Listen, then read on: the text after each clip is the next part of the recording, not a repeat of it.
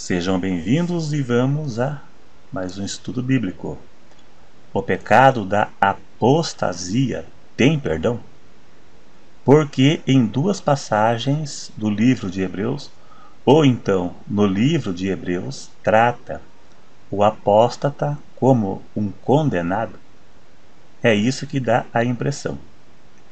A Bíblia tem a resposta para isso, e é isso que vamos ver a partir de agora. E se gostar, não esqueçam, clique em gostei para ajudar na divulgação do vídeo. E se não é inscrito, se inscreva para ajudar o canal. Primeiro vamos ver o que é apostasia e os tipos de apostasia citada na Bíblia, para daí vermos a gravidade desse pecado. Mas an antes temos que saber o que é isso. apostasia na religião é o abandono da fé que a pessoa professava, é negar aquilo que ela viveu. E no cristianismo é abandonar o cristianismo ou negar o cristianismo, se tratando da verdade da palavra de Deus e não algo distorcido. Eu vou citar dois tipos de apostasia. Uma, a pessoa que abandonou a verdade para seguir falsos profetas, falsos ensinos. Essa pessoa ainda é cristã, ele é um cristão, mas ele segue falsos ensinos. 1 Timóteo 4:1. O Espírito expressamente diz que nos últimos tempos apostatarão alguns da fé, dando ouvido a espíritos enganadores e doutrinas de demônios apostatarão da fé. Apostatarão, abandonarão a verdadeira fé, as verdades do cristianismo, do cristianismo para seguir falsos ensinos, mesmo se intitulando cristão, mas são ensinos de demônios. Fica claro que todo falso ensino tem origem demoníaca, origem de demônio. O outro caso é a pessoa que abandonou a fé depois de ter sido regenerada. Esta abandonou definitivamente, não se intitula mais um cristão. Essa pessoa teve experiência com Deus e voltou atrás, não crendo em nada, renunciando tudo.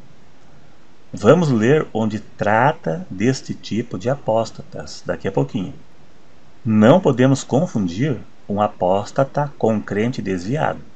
Um desviado pode ser um apóstata ou não. Uma pessoa pode ter se desviado do evangelho, mas não se apostatado, porque essa pessoa crê, na verdade. Essa pessoa sabe que está errada, ela não nega a verdade e sabe que está errado. Ela não nega o que aprendeu e o que viveu. Para ela é mais fácil. Mas então por que o escritor de Hebreus trata o apóstata como uma pessoa condenada? Será se o apóstata não tem mais perdão? É isso que vamos ver. Vamos ler pelo menos dois textos, textos de Hebreus e interpretando e meditando ao mesmo tempo. Primeiro, Hebreus capítulo 10 e verso 26. Veja na sua tela e vamos comentando. Porque se pecarmos voluntariamente, depois de termos recebido o conhecimento da verdade, já não resta mais sacrifício pelo pecado, mas uma certa expectação horrível de juízo e ardor de fogo que há de devorar os adversários. Agora vamos considerar o livro de Hebreus foi escrito para judeus que estavam sendo pressionados a voltar para o judaísmo e assim negar a Cristo, abandonando o cristianismo e voltando atrás. Negar que ele foi o Cristo que morreu pelos nossos pecados para cumprir o plano da redenção Voltar atrás seria negar a Cristo. negar que ele foi o Cristo que morreu pelos nossos pecados para cumprir o plano da redenção. O escritor de Hebreus disse que se eles voltassem ao judaísmo, abandonando o cristianismo, eles iriam se apostatar e não haveria mais sacrifícios pelos pecados, pois os sacrifícios de animais apontavam para Cristo. Na nova aliança não vale mais, porque se cumpriu em Cristo.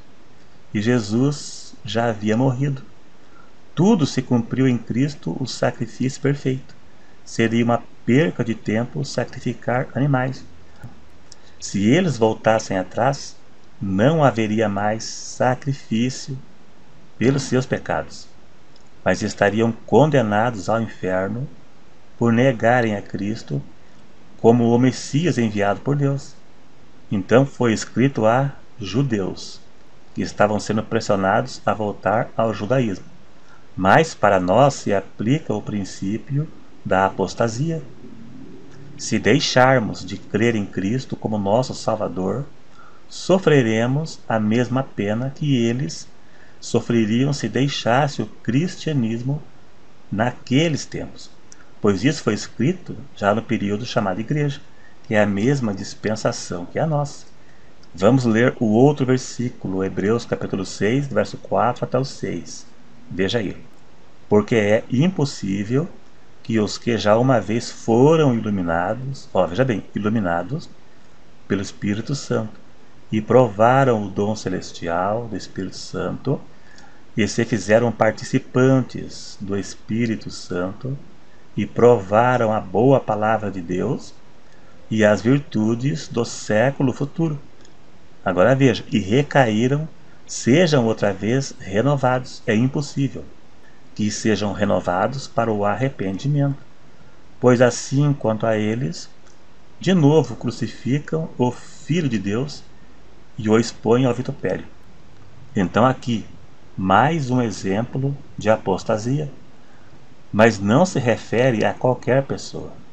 Veja que diz que depois de terem sido iluminados pelo Espírito Santo, provaram o dom celestial, fizeram participantes do Espírito Santo, provaram a boa palavra de Deus e as virtudes do século futuro e caíram, não há, não há mais sacrifício para essas pessoas.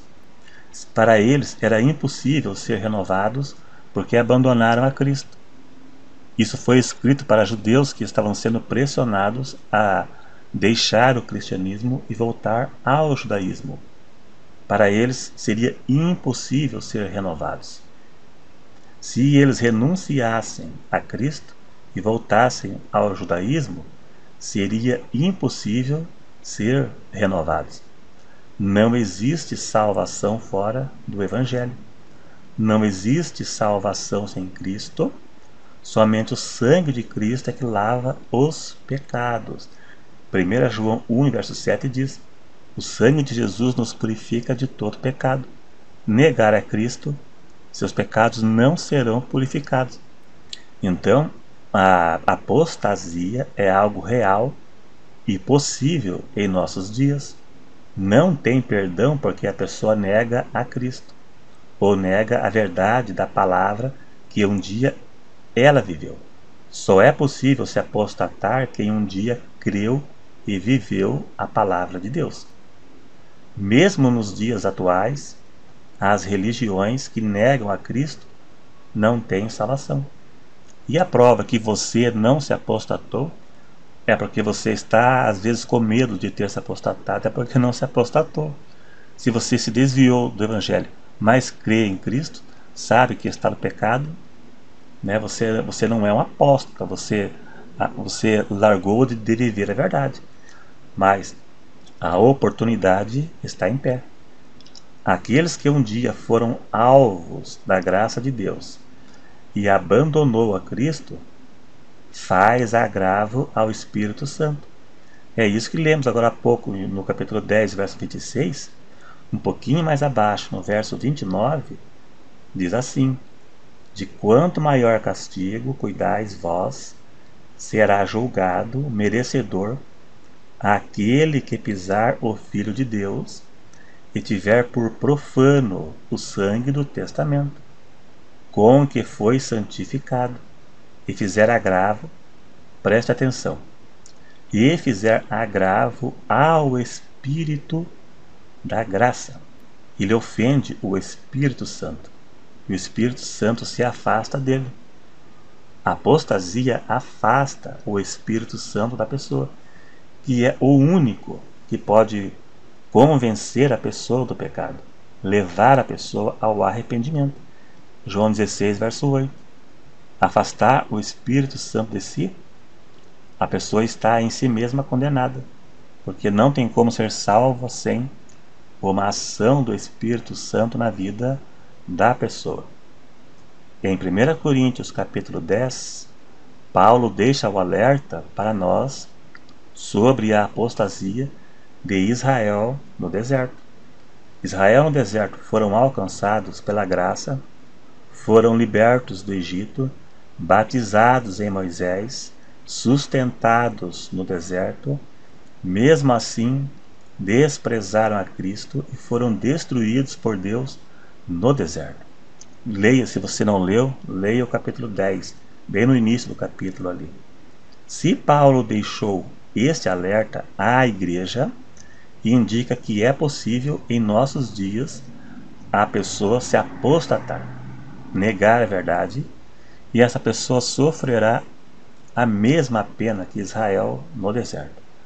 Vai morrer prostrado no deserto e não vai entrar na Canaã celestial, da mesma forma que os israelitas murmuradores não entraram na Canaã terrestre. Né? Aqui o o apóstata não entrará na Canaã celestial, vai ficar prostrado aqui na terra. É isso aí então, mas se o apóstata se arrepender, voltar atrás, ele, ele tem salvação. Mas se ele morrer nessa situação, estará condenado. É isso aí, se gostou, dá um joinha. Se não é inscrito, se inscreva. E até o próximo.